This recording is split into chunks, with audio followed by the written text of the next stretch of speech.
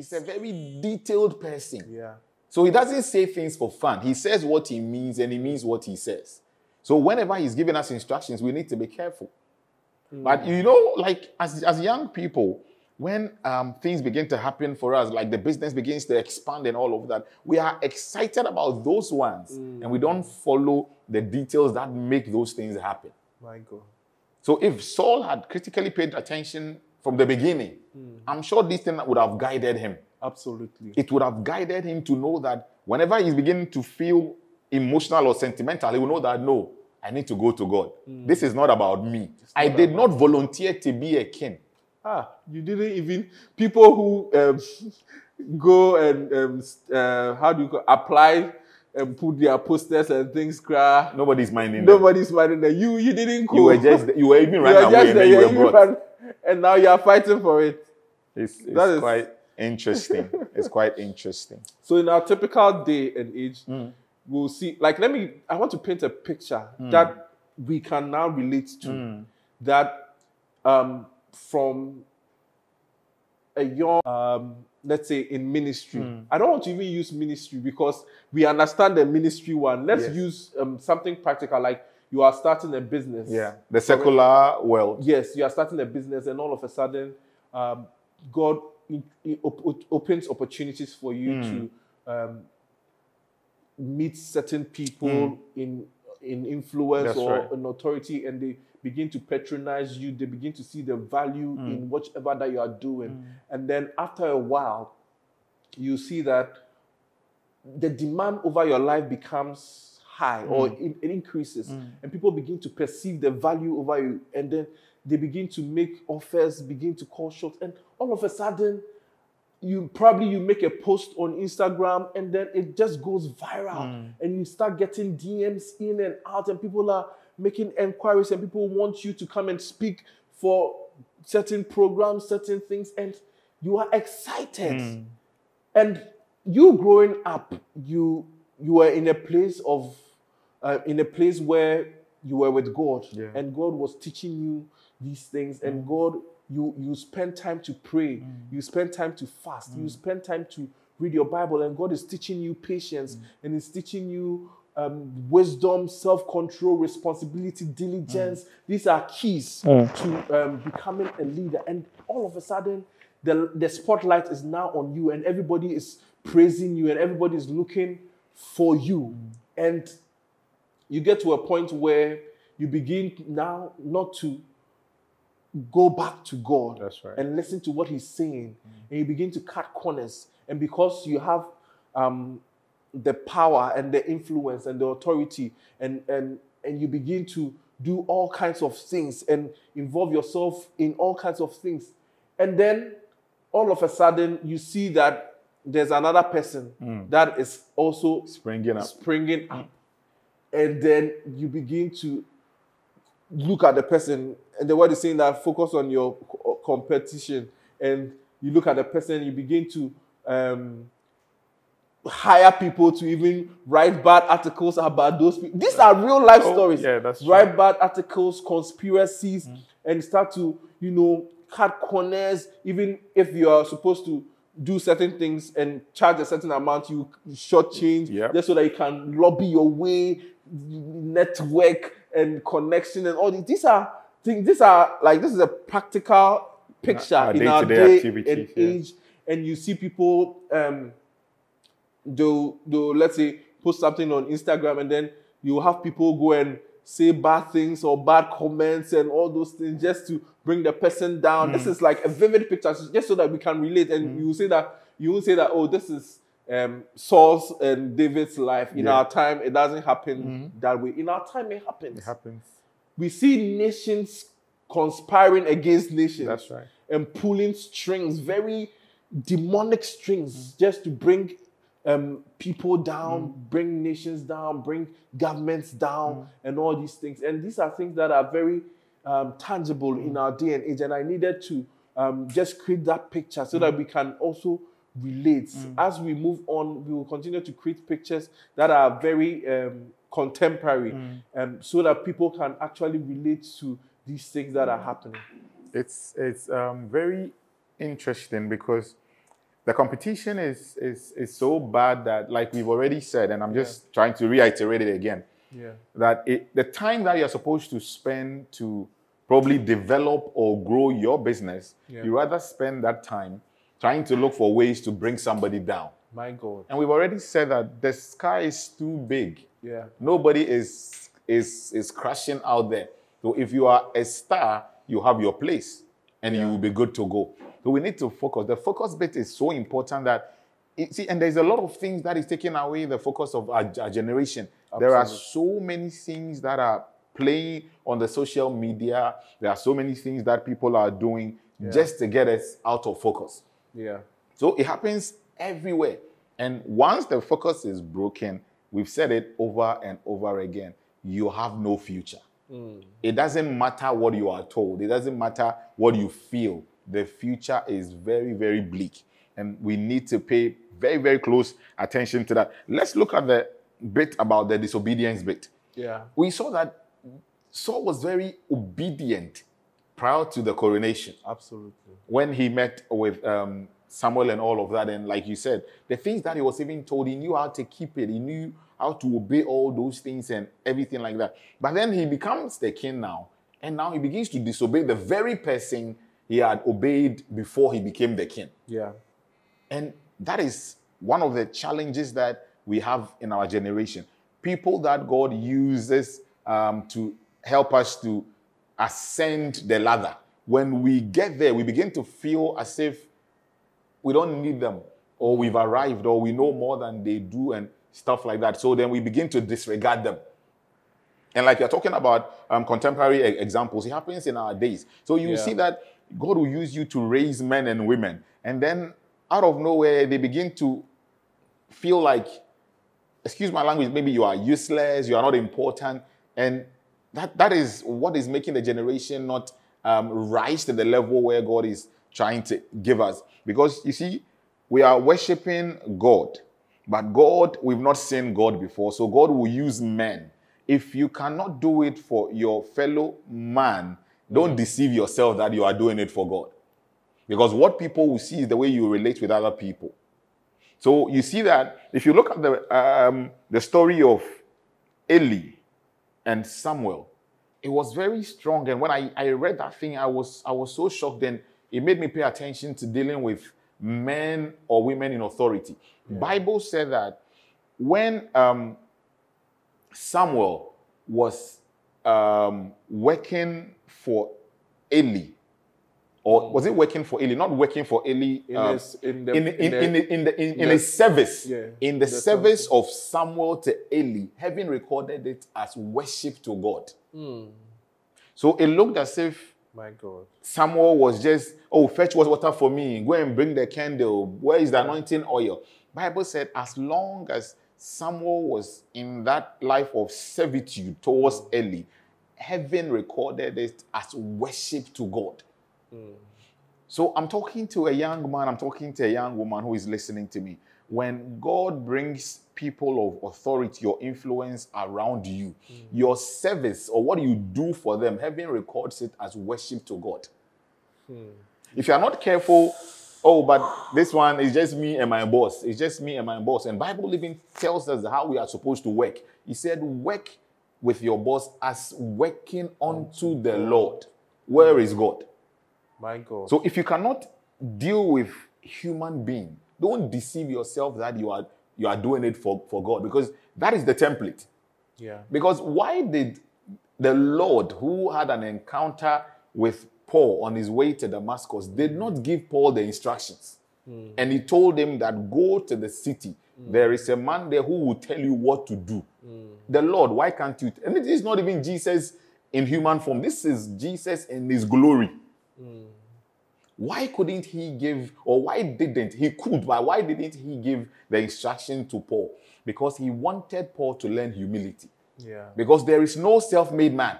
Yeah. If God makes you all by himself, you will not regard anybody. Yeah. So the things that will unlock your destiny or your greatness, he has kept it in different men. Mm. If you can serve them, you are worshiping God and the thing is released. Absolutely. So then Paul had to go to Ananias yeah. And then Ananias even didn't want to do the thing. He was complaining, God, don't you know this guy? He's a very bad guy. Why do you want us to pray for him? and God said, Don't call him a bad guy. This is my chosen vessel. So there is mm. somebody listening to me. You are devastated. You are you are frustrated, you are oppressed of the devil and all of that. That is what the world is calling you, or that is what the world is describing for you. But what is heaven calling you?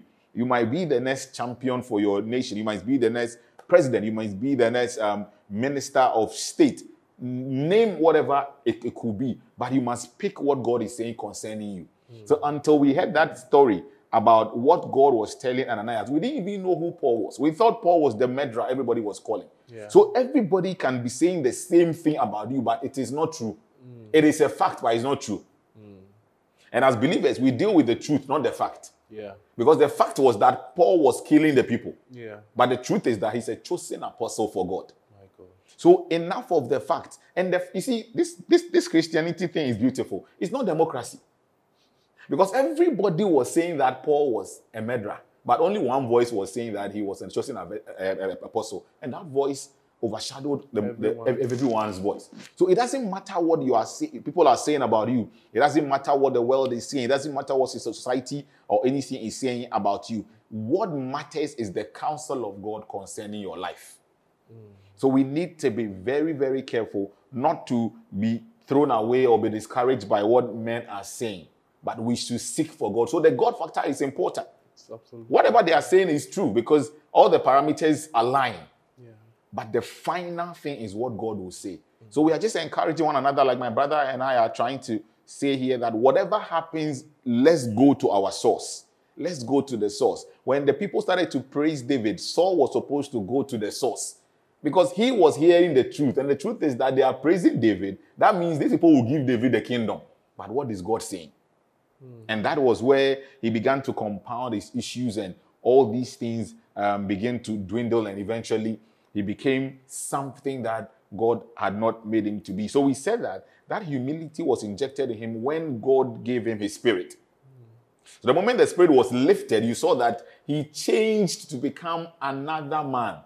A very carnal one. A very carnal man for that matter. Mm. Now, the one that was one once uh, upon a time hiding is now out there trying to fight anybody that is trying to take what he claims is for him, which is not even his, which is the Lord's inheritance. My God. My God. You see the way the, the, the whole thing is. Yeah. So that was the bit about the disobedience. So it looks as if before the coronation, things were moving out for him. And then he gets in, and then everything um, begins to turn the other way. I want you to probably come in with the bit about the impatience. All right. He was very patient before the coronation. And you even said it a few moments ago yeah. that he was asked to wait for seven days and he did. Mm. Now, why can't you wait for someone to come and perform the sacrifice? It is very interesting, like mm. the progression we've made so far. Yeah. And it is interesting to I want to make this point, and it's it's very clear that power truly corrupts. That's true. Power has the potential to corrupt. And it is something that is very delicate. Mm. And as we are talking about, like the impatience bit, mm. we've seen him become very patient mm. and even before his coronation, That's before right. he was anointed as a king, mm. we saw the patience, the patience he exhibited in his life.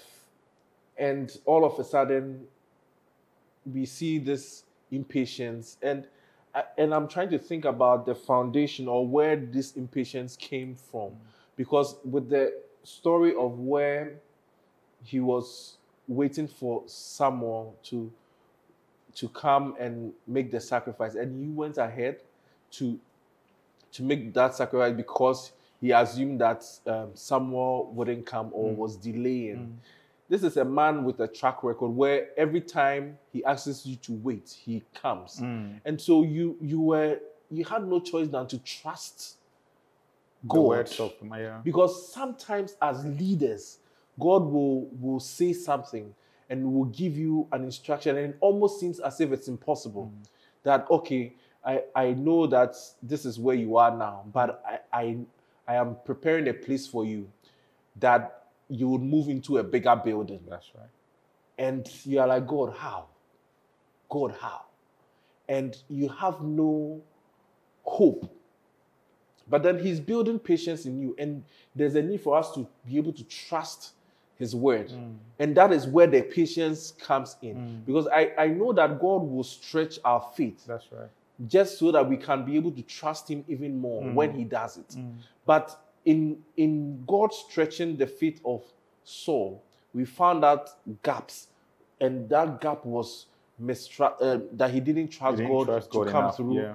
And then also he was impatient. Mm. And so sometimes you say that, oh, I'm, I want, I'm moving you guys into a building. And then you see a foul means to get the building. Mm. And you can easily say, no, I won't sign this to get this building. I know this is not God's mm. voice for me. But we can be impatient enough, knowing very well that God has told us that the building will come, mm. and still succumb to the dubious way of getting it. Mm. You understand? But if we will build that patience and we will build that trust and be patient enough for God to actually let his plan manifest, you see that the building will come to you. Mm. And it will come in a in a more genuine and authentic way. That's right. and and that will come with testimonies. But then we find ourselves as leaders when god is stretching our faith that we become impatient and begin to take matters into our own hands to do things that god hasn't ordained or asked us to do. And it is crucial that we walk with um, the voice of God. Whatever that He says we should do and not do, we should stay true to that covenant and be obedient and, and, and have that um, patience and trust in Him to be able to um, see His things and His purposes manifest in our lives. You know, just um, adding to what you were talking about, in line with um, the patience bit, we are in a generation where we are very impatient. We we don't know how to grow through the ranks, Yeah. and it's very challenging because at the end of the day, the lessons that we are supposed to pick along the line, we miss them. So we become half baked, half cooked at the end of the day.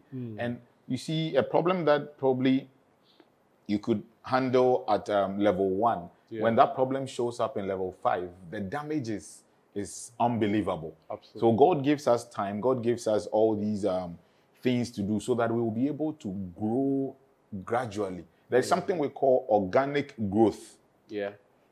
even it happens in social media and all of that. That's how come people want to go and buy subscribers and followers Yeah. just so that they, the numbers will just begin to skyrocket. Instant gratification. That, that that's the whole deal. But when people grow through the ranks, it, it's it, it makes it more organic. It's natural. Yeah. Because everything natural is actually the best. Yeah. But artificial stuff is when we want, want to do it outside of what, the way God has designed it to be. So just bringing a picture of what we are talking about in terms of um, Saul trying to do the sacrifice himself and not waiting for someone to come and do it because of impatience. It happens in our in our days um, today. People are there, young men and women trying to get into industry and all of that. It's like we want to help God. we want to help God and still give God the credit. Wow. So a lot of people come to um, the church and then they begin to give a lot of testimonies, and the testimonies, and God did it.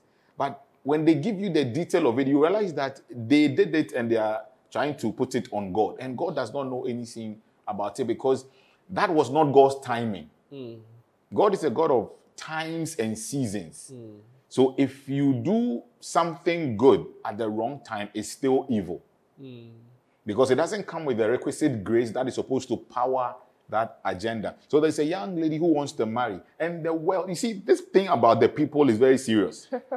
so the reason why a lot of young ladies and young guys are forcing themselves to get married is because of what the people have said. Hmm.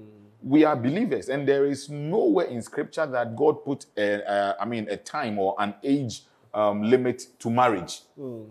But the world and science and our little knowledge will tell us that, oh, when you get to a particular age, it's hmm. difficult to have a child, it's difficult to do this and that and all of those things. So, because of that, we are under pressure to help God to solve our problem. So, we pray to God, we find a way to solve it, and we come and thank God for something He didn't do. Something he didn't So there's a lot of things that are going on in the world that God really is amazed because he wasn't part of it. Hmm.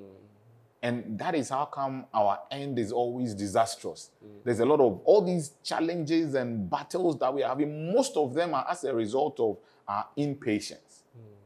We didn't want to go through the ranks and the competition bit we talk about. Because your friend had it at age seven, you also want to have it at age seven. But maybe you are being made to get it at age 12. Hmm. And all of this is because we don't connect to God. So we decide what happens to us and when it should happen to us because of what our neighbors or our competitors are doing. Hmm. And that is where we need to look at. So the people is a problem. So Saul was the people's person. Hmm. Everything he did was the people. But the people did not call you to authority. So it applies to our leaders nowadays, our presidents, our ministers, our um, assemblymen, and all of that. You were appointed to perform a particular function, but it gets to a point now, all the things that you do is as a result of what the people are saying. So you are trying to satisfy them ahead of the bigger mandate. So our generation is in a lot of challenges, a lot of crises, and I have to do this and this. Who said it? Oh, and then the Latin people will say, and I said, "Saa na obiara ɛyɛ no." Yeah. Say, "Saa na obiara ka no." Okay, so the Greek is that that is how everybody is doing it, or that is the norm for the day. Yeah. But the norm of the day is not necessarily what God wants it to be. Yeah. So because we are believers, we work with what God is saying. Imagine you are in a university and the vice chancellor has his or a set of rules, and you say, "No, no, no, the region I come from, this is not the way we do our things." You will be sacked from the school. Yeah. So you can't say that you are importing your set of rules from your region to another institution. Every institution have their set of rules and regulations that govern them. Yeah. So as far as you belong to the, the Christian fold, you're supposed to be playing by the rules of the game. And I've said this before, no matter how fast Usain Bolt is, he does not make the rules for athletics. Yeah. He would obey the rules and regulations of the International Athletics Authority. Absolutely. So he can't say that because I am the fastest, the 100 meters, I want to run backwards. That would have been another sport altogether and not the 100 meters that everybody is running facing um, the finishing line. You see, so that is what we need to do. We need to understand that we cannot help God. And when we try to help God, we open up the doors and the chambers for the enemy to manipulate and come in. And that is what um, the challenge of Saul had been right from day one. So we should not miss the details when God is promoting us. We shouldn't miss the details when God is uplifting us. We shouldn't miss the details when our breakthroughs are coming. Because that same foundational details is what will carry on eventually. And then we'll make sure that we come to a fruitful end. My God. So the people is a problem. And I like the way you stressed on it that we need to even know how to deal with people when they are um, giving us accolades and praises and all of that. It's very difficult. As human beings, our feelings and our emotions make us want to just enjoy whatever is happening. We can even be glued Hmm. to it to the point that now everything that we do, we are doing it for the cloud, for, yes. For the accolades. That's it's right. not really from a genuine place, but we are just doing it for to hear those things, and and we are slaves to to those things. That's so right. I mean, it's it's it's very powerful.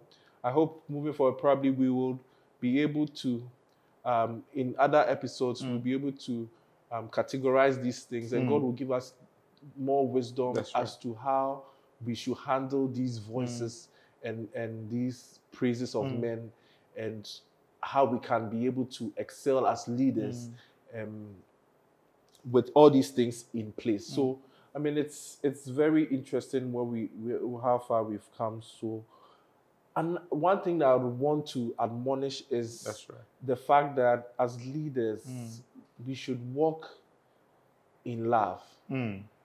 and I believe that that is something that Jonathan, that is Saul's son, Yeah. did. Yeah. That blessed him so much. Hmm. Um, so, we, if imagine Saul had loved David, hmm. that would have saved him a lot because although he was anointed as king and God had left him, God still valued him as a king. Mm.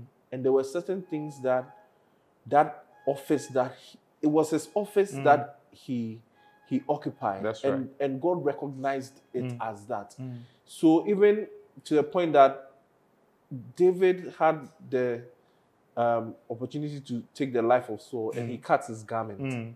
and he, he he he even was, you know, sort of like there was this there was a query for that. Yeah, he was like yeah. Even to, to to even do that and not to kill him, he Yes. still felt like Yes, remorseful. Yeah. Yes, remote because this is an anointed man of God, Mm. whichever be the case. You understand? Yeah. So God gives us that um, opportunity Mm. to and that door to always come to Him. And it is important that if we be, if we are conscious to operate in love, Mm. we will operate in in in the ordinances of God That's right. you, if you understand what I'm saying, Yeah. because like you like love rules, Yeah. and and we see that most of the time leaders lose track Mm. when they become selfish, when they they begin to think of just themselves, Mm.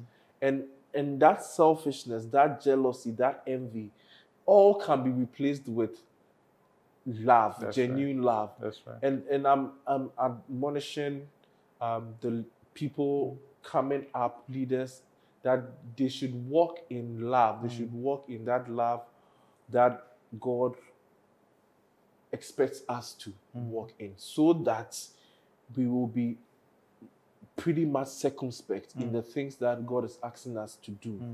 And we will not deviate or derail from the original course that He's asked us or um, He's entrusted us with. you know, um, just so that we begin to um, wrap up for this particular um, episode, we, we've, we've been looking at the transformation of King Saul, Yeah. looking at um, before he became the king and then um, when he uh, ascended the throne and how certain things in his life changed. And we've tried to um, pinpoint it to the fact that it was um, loss of focus. Yeah. The moment he lost focus, everything else found its way into all the vices started to uh, make way into his spirit the, the envy, the bitterness, the pride, the disobedience, and all of those things. So it's it's actually a very beautiful picture as far as the making of a leader is concerned. It's not just about the, the, the steps to become a leader.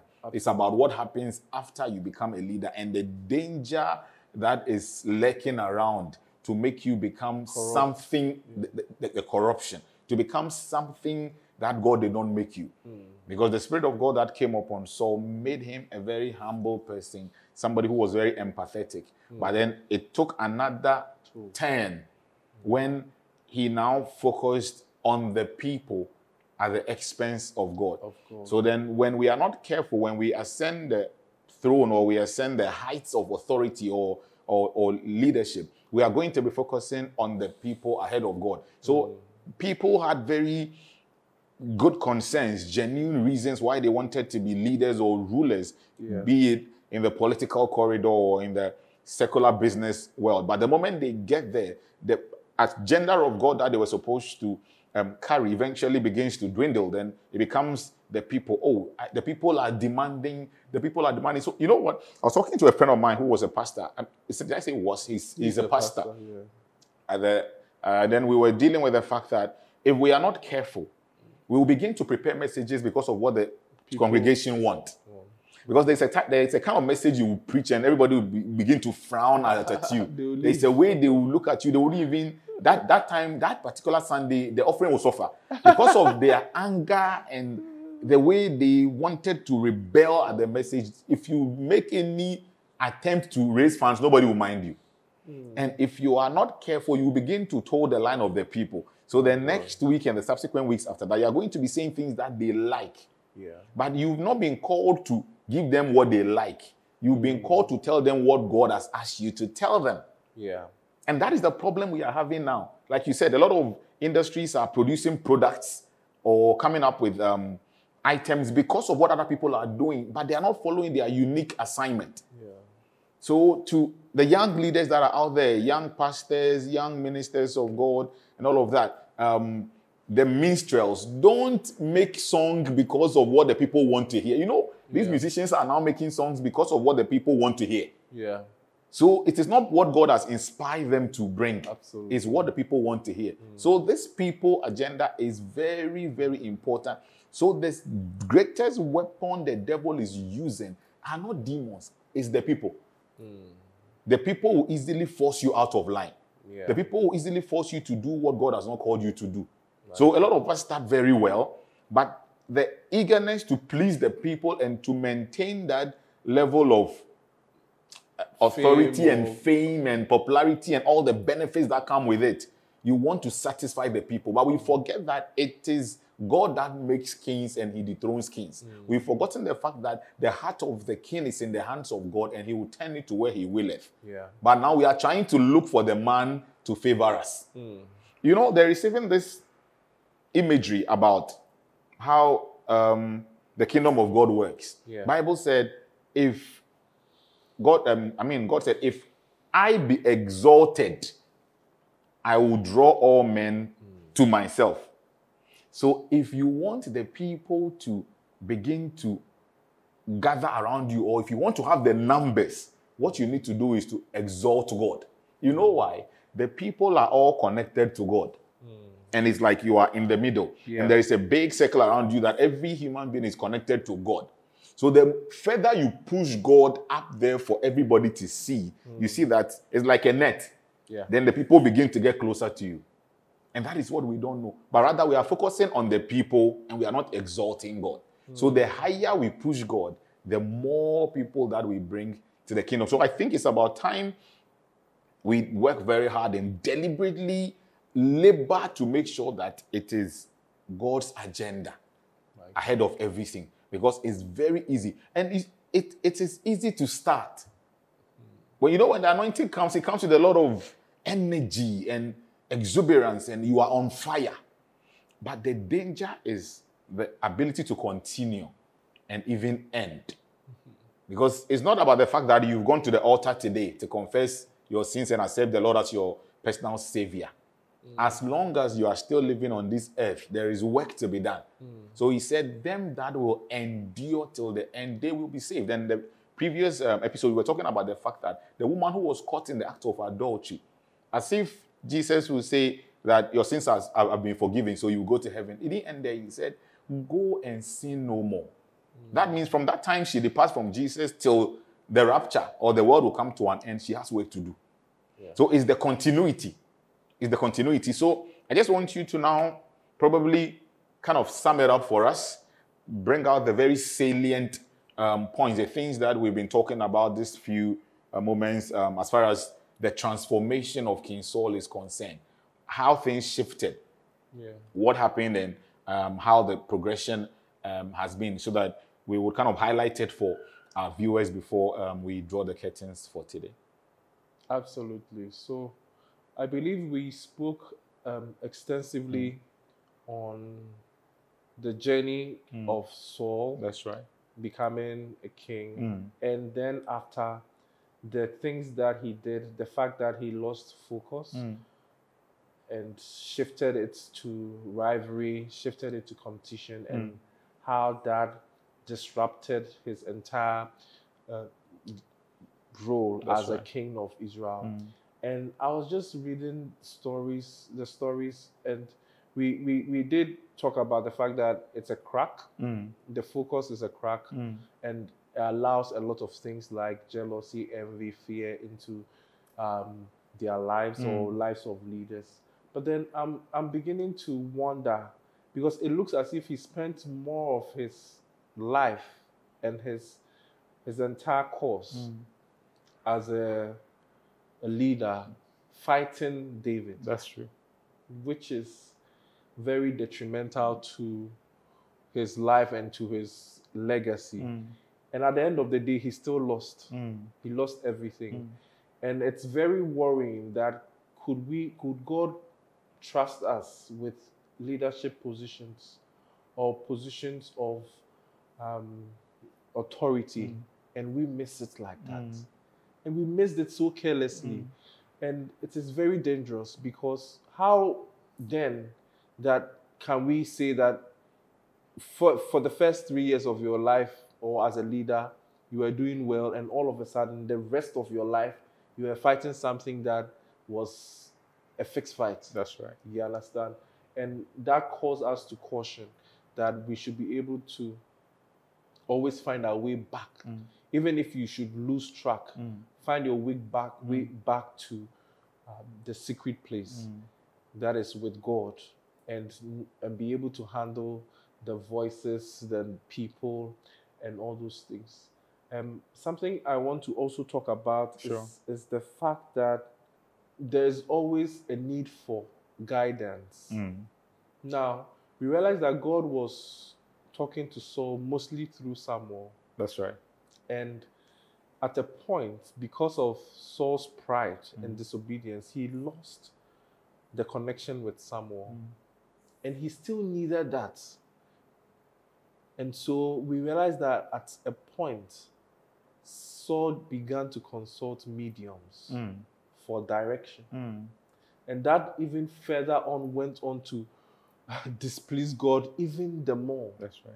That means that as leaders, we really need to tap into now, presently, the presence of the Holy Spirit in our lives. Mm. Because the, the presence of the Holy Spirit in our life is Samuel to Saul. That's right.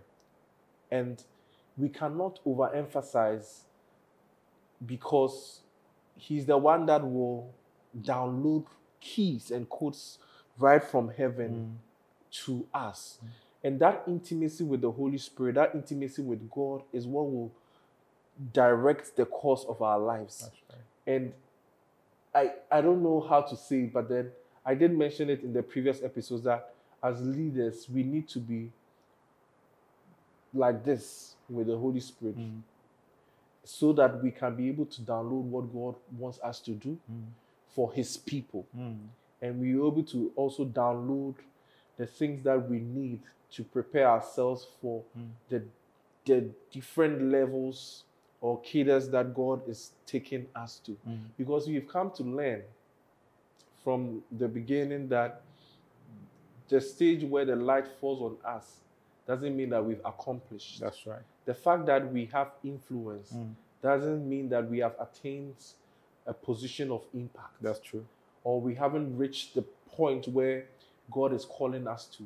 The influence, it's only allows ease to be able to, it's just like um, water that is helping us sail our boat to our destination. That's right. It is just a platform that allows us to reach um, our destination or to reach our purpose with ease.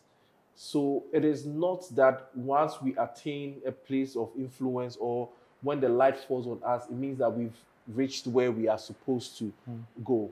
It is a, now time for us to work. When the light came on Samuel, when he was called um, in front of the people of Israel and he stood up tall, that was when the light was on That him was Saul, you mean? um, um, Saul. Now is the time for him to now work and prove himself, and now work to fulfill the agenda that God has placed on him That's and right. on his life. Mm. And I think that to a large extent, Saul missed it mm. and was now lurking in the shadows of David. Mm. And and and we cannot afford to be in the shoes of Saul at any point in our leadership life that God is calling us to become leaders, and then we are just um, losing it and focusing on um, unnecessary things mm. as as leaders. Mm. And so, all in all, we are praying that God will give us wisdom mm. and will give us the ability that whenever we shift focus, we, we march right back through the inspiration of the Holy Spirit. And then we should also have a secret place that we go to God and cry to Him, God, your boy has come. Your boy has come. They are saying this about me, but that is not important. What are you saying That's about right. me? That is what I need to know. Hmm. Am I on course? Hmm. Am I on track? Am I carrying the vision as I'm supposed to? Am hmm. I taking care of the inheritance you have given me as I'm supposed to? And that is the core of leadership that we connect with God or we connect to God and find direction for His people. We connect to God and seek um, direction as to what we should do as a people so that we don't end up even um, leading astray the people of God. Because we find out that leaders can lead the um, shepherds can lead the The sheep, sheep astray. astray. And we don't want to be such leaders. We want to be leaders that are in sync with the spirit and the voice of God, leading his people to the um, still waters, leading his people to a place of um, abundance, a place of flourishing, a place of increase, a place that God has destined for for His people to be. Um, it's um, it's quite interesting, and I think I've I've, I've just en- um, enjoyed the Saul bit today. But what we focused on today was the transformation of King Saul, Yeah, and it's got to do with the corruption of power. yeah, So, how power can corrupt. So then we've seen the life before he mm. became king, and Yeah. how things turn out after he became king, and that's typical of corruption of power.